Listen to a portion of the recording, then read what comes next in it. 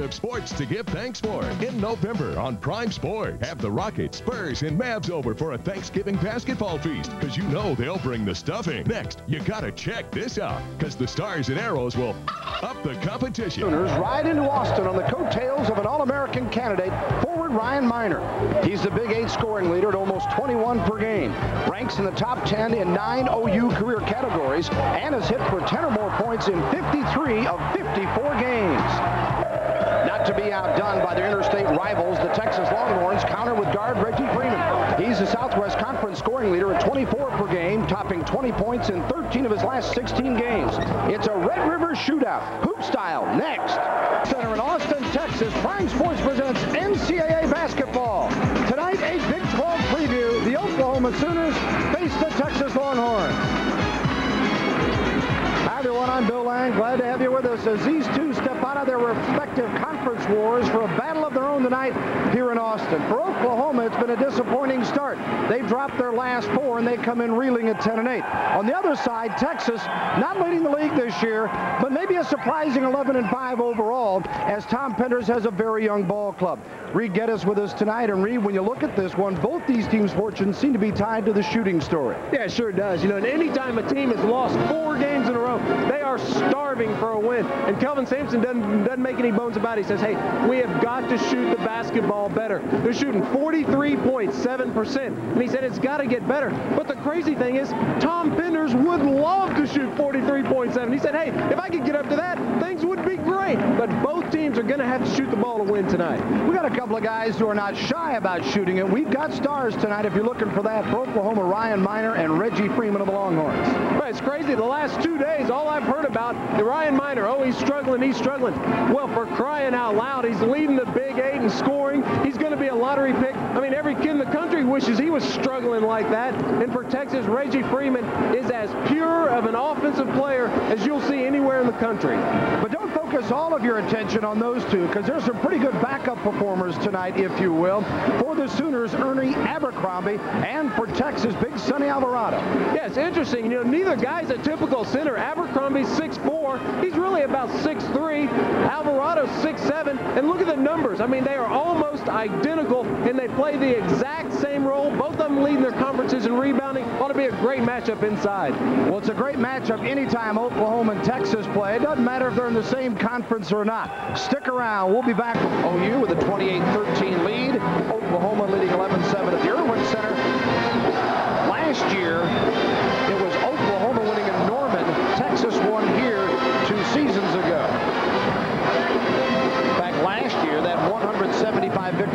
Sooners in Norman, the worst road loss under Tom Penders' tenure at Texas.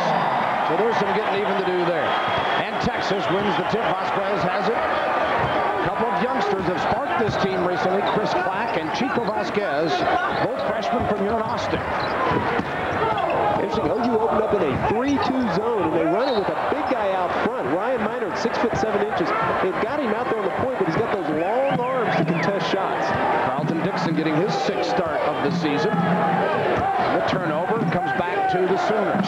Erdmann in the backcourt for Oklahoma. There's Minor. Abercrombie back out, and they'll restart with Foster to run the show. Tyrone Jr. out of White Plains, New York. Erdmann back to Foster. And to Minor. And a man. Here's Evans. 11 on the shot clock. Evans, and he drains the 17-footer to make it a 2-0 Oklahoma start. Evans coming into the ball game, averaging seven points a contest. Well, Bobby Joe Evans hits that shot all night, and it's going to be a long night for the Longhorns. Six foot nine inch, 270 pounds. You know, he catches the ball and spots up at 18 feet. You say, oh, you know, shoot that one, big fella. Vasquez to penetrate against the zone and back out to Freeman.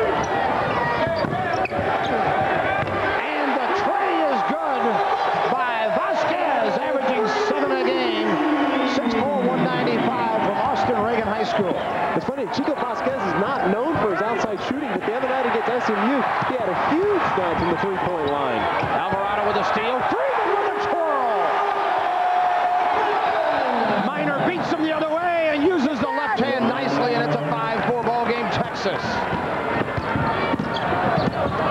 what a pass. Beautiful pass, super block, but with the body, Evans gets called for the foul. Hey, credit to the freshman Chico Vasquez, a beautiful bounce pass right down the middle of the gut of the defense. When you're playing Texas, you prepare for this. All week long, you practice against the press, and nobody around I've seen in a long time is as good into Texas. I mean, for the year, they're forcing about 24 turnovers a game. Dixon at the line. He's coming off a 10.5 rebound performance in 22 minutes against Texas Tech as Tom Penders sits back down with the Longhorns up by 1-5-4 and Dixon will get one more. Averaging seven points a contest makes it a 6-4 game Texas.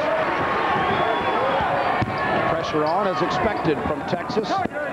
They have four of the Southwest Conference's top eight men in steals. Foster out front against Vasquez, and now the double team and a near steal. Last touch by Texas and off the hands of Carlton Dixon.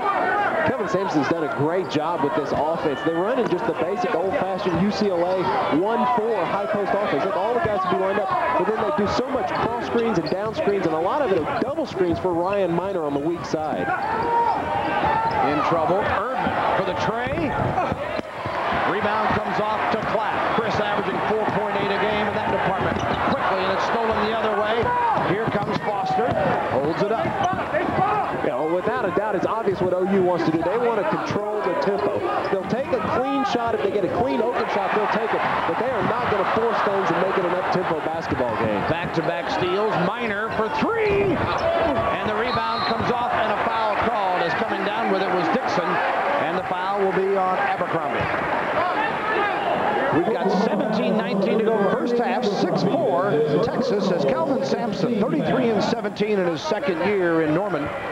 Last year, a surprising 23 and 8 appearance in the NCAA tournament and National Coach of the Year honors by Basketball Weekly.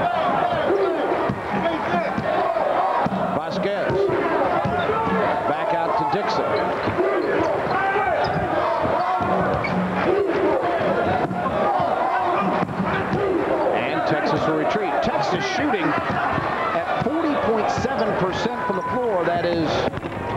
the Southwest Conference. The rebound comes off to Abercrombie, but they're averaging 73 shots a game, and that's where they usually make things up between that and the turnovers. Foster, he nails the three, and the Sooners take the lead. And that's the situation we were just talking about, Bill, that Kelvin Sampson wants them to take a shot if they're open. If it's a fast break, it's in transition, if you've got a clean shot, take it, but don't make any one-on-one moves to take that shot. Anytime you're going against a 3-2 zone, what you want to do is you want to flood one side, penetrate, and then where it's vulnerable is down on the wing on the, on the baseline. Freeman, nice move to the basket, and Texas regains the lead. 8-7, 16-11 to go, and Reggie Freeman with a bucket. Erdmann to Minor, beats the press, three on one, dishes Abercrombie looking for the handle.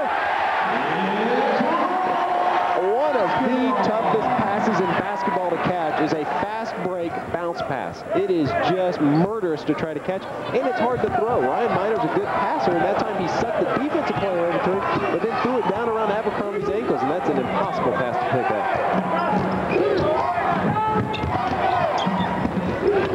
Freeman with a miss. Got it back underneath from Alvarado. Freeman Vasquez tipped over here. You were going to pass it back, weren't you?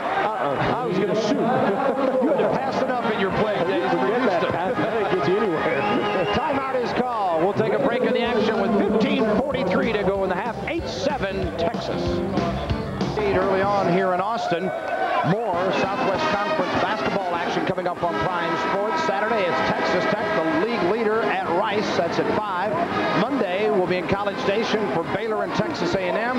Then on Saturday, February 10th, 4 p.m. for the women, Houston at Rice. Check your local listings for games and times in your area. Well, Reggie Freeman, just a junior from the Bronx, New York. He only needed three points coming in tonight to get 1,000 for the career, and he has done so.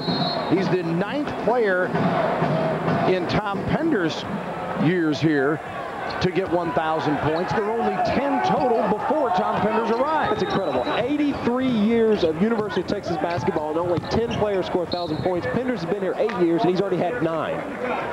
They can light them up. Texas averaging 84.6 a game, second in the league under Tom Penders, outscoring their opponents by six. Oklahoma comes in averaging 79.3, outscoring its opponents by better than seven a game. Texas with the ball in the lead.